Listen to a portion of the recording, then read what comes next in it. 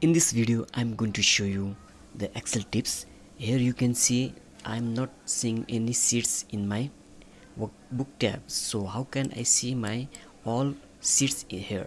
You can see here there is no any worksheets so how can you do it? So let's get started. So first of all go in file and then scroll down and then you will see here option. Click options and you can see here at excel options tab go to advanced. Scroll down. Scroll down. And you will see here in this display options for this workbook.